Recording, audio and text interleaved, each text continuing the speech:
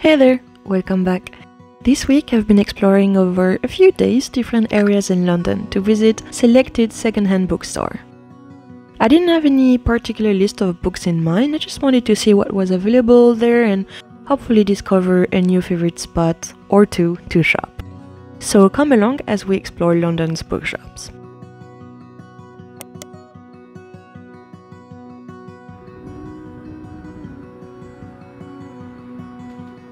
First on the list was Arsenal, where I spotted a few second bookshop I wanted to try.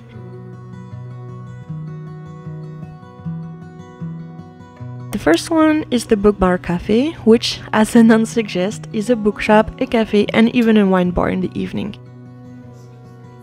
It is super cute, though extremely small. When we arrived, it was full, so we turned to the terrace to enjoy our coffee.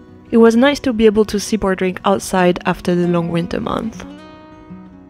Right next to the book bar, you can find House of Hodge, which is a second-hand charity bookstore that supports animal organizations.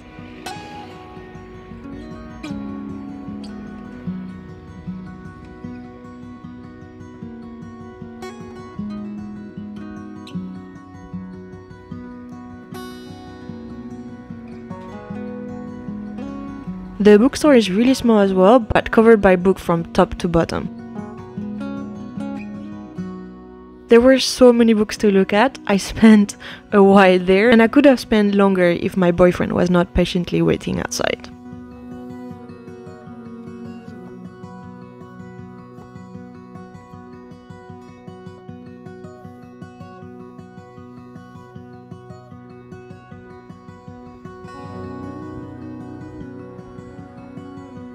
We decided to walk around the neighborhood, exploring this area that I'm not so familiar with, but it seems very cute, so I will definitely try to go back. We wanted to check out another cafe slash bookstore called Ink 84, but unfortunately they were closed, so another time. We pass through De Beauvoir to go through our next destination. This beautiful square surrounded by Georgian houses is not related to the French writer and philosopher Simone de Beauvoir as I thought first, but from the original owner of the land, Richard de Beauvoir. We then arrive at Burley Fisher Books. This bookstore sells new and second-hand books with a focus on independent press. It's a really nice bookstore that I would gladly come back to.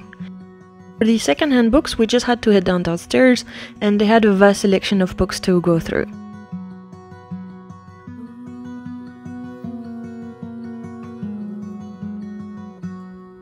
I found this Paul Auster one that I picked up. I hope I haven't read this one yet because I read both these books in French and English and sometimes I get confused. It has happened to me that I realize I already read the book only halfway through.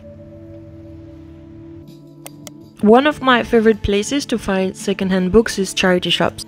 Of course, the selection is not as good as in bookstores, but they are everywhere in London and in the country in general. They're really easy to find. Oxfam in particular has specific bookstores all over the country that I like to visit often.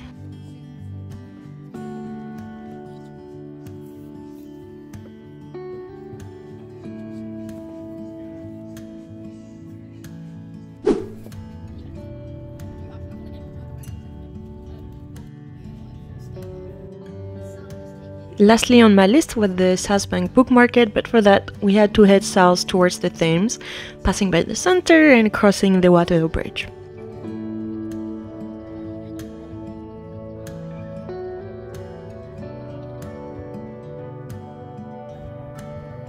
The weather was beautiful that day and it was such a great feeling to enjoy the sun, finally. The South Bank Book Market is open every day from 10 to 7 pm next to the BFI and has been there for the past 4 decades. This time around there was only two sellers, but I've seen it fuller at other times.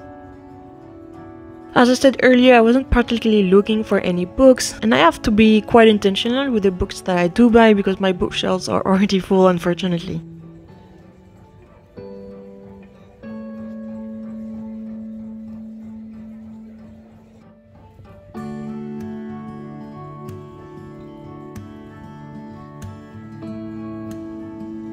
They had a great selection of books, particularly old vintage ones and even comics.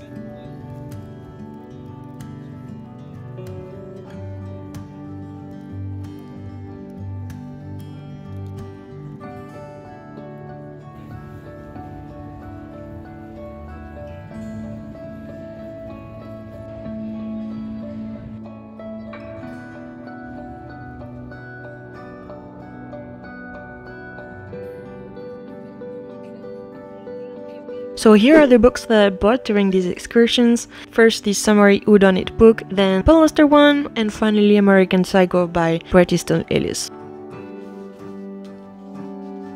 But before I start reading these, I need to finish the books I already started.